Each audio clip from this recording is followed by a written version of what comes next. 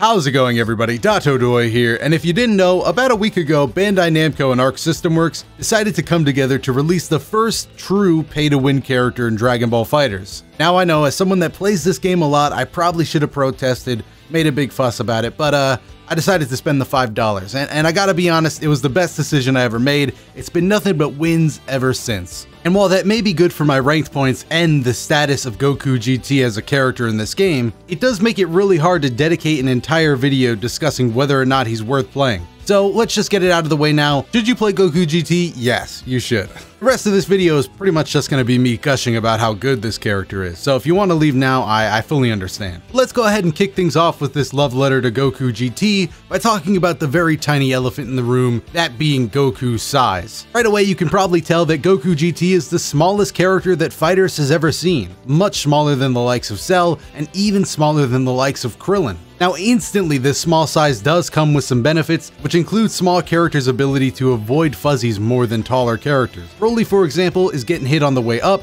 down, and then up again. So he's got to be ready to block all of that, or he's got to be ready to block another low. Cell has to deal with the same thing, Goku GT does not. Now while that is nice, it really doesn't separate him from his other small character companions like Gohan and Android 17. But a usually inherent downside of being this small is that your limbs are almost as small as you, thus you don't really have the best buttons in the game. Goku GT circumvents this by having a pole that goes across the screen, and by choosing to fling himself across the screen a la Bardock.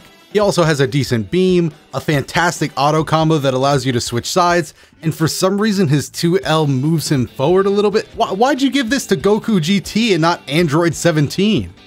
Goku GT doesn't need this. Overall, what this basically means is that Goku GT has a lot of the benefits of being a crazy small character, including the fuzzy thing we talked about before, and just being a harder character to land conversions on and go into combos when they really matter, without some of the glaring downsides. Moving on to the next thing that makes Goku GT such a menace is just the fact that this character has so many mix-ups. Now, a lot of this is due to the fact that when you do a quarter circle back in any button, Goku will jump up and do this orb-like thing, and that gives him some good space. It also puts some block pressure on the opponent, but when you combine that with an assist, that leaves Goku in the air so that you can dash forward and go for an instant overhead, land and go for a low, or dash forward, fake an overhead, and just instantly go for a low. Basically, it's constant pressure that you really need to be paying attention to. Not to mention that if he makes you block again on the bottom, he can always do 2S on the ground to vault over you and then maybe end on that side and go for a low, or just come back on this side, throw out a beam, all sorts of stuff like that. The way I like to think about it is Goku GT's moveset is perfect for that online environment where there's like a couple frames of lag throwing off your opponent, there is no way they're blocking some of this stuff. It's just impossible. Goku GT is going to mix him up 10 out of 10 times. Another big part of his mix-up game also comes from his post level 3 Oki, which we'll go ahead and talk about now because that's pretty much my next point as to why Goku GT is such a fantastic character, and it's because he has the best level 3 in the game. I said it, hands down, the best level 3. N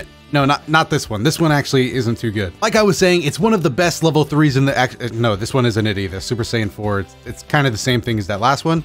There you go, the Spirit Bomb. This is the best level three in the game, hands down. The Universal Spirit Bomb is busted as it is in its current state and I would not be surprised if they took a look at it in future patches down the line. If they don't, hey, that's great. Goku players, go crazy. But I would not be surprised if they do. So let's break down everything that this Spirit Bomb does. One, if somebody does recklessly super dash from you at a distance that you can safely react with it, this is a guaranteed punish. It'll eat up the super dash, punish them with the full spirit bomb, which afterwards you can go ahead and follow up with a combo if that's what you want to go ahead and do to make sure you pick up that kill. This is of course also a huge part in Goku GT's many touch of deaths. This character can do a touch of death combo with no sparking, sparking solo, sparking with teammates, no sparking with teammates, you name it, Goku GT has already taken somebody 100 to 0 in that format. This Spirit Bomb is also super easy to land thanks to the use of Goku's fake out Kamehameha move to blast them up into your radius and go ahead and combo directly into it. Now, if that doesn't kill and you don't want to follow up with a touch of death, it also provides a hard knockdown in which it feels like you have 30 whole seconds to set up whatever kind of wake up scenario you want to. That is a ridiculous amount of setup time to decide what your opponent probably won't expect, and most of the times you're always going to land a hit after this. It, it's just impossible for the opponent to be ready for what's coming. This level 3 alone and the fact that you can go into it so easily already puts Goku GT above and beyond a lot of other characters in this game, and the fact that his kit around it is so stupid just makes it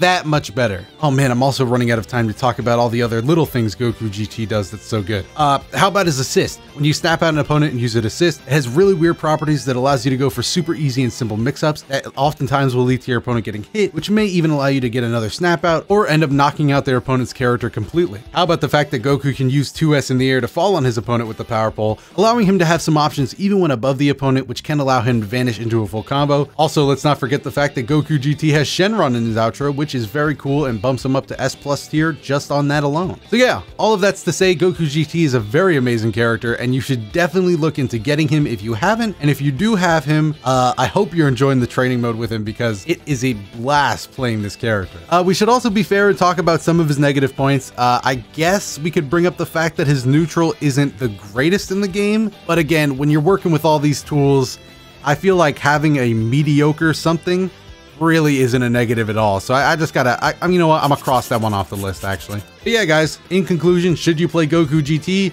Yes. Should they nerf Goku GT? No. Guys, ArcSys is gone. They, they might want to look into this character just a little bit. Maybe. I don't know. We'll have to let the dust settle and see how he does in tournament, but I don't know. It, it might be a problem. Let me know your thoughts on Goku GT down below in the comment section. Are you playing him? Are you enjoying him? Or are you not? While you're down there, if you like these videos and you like the channel, make sure to hit the like button and subscribe. It really does help the channel out in more ways than I could ever say. I also have some more videos up on your screen if you need some more Dragon Ball FighterZ slash fighting game content in your life right now. And if any of those interest you, just go ahead and give them a click and it should play from there. Other than that, I'm Dotodoya. Thank you so much for watching this specific video and I will see you in the next one.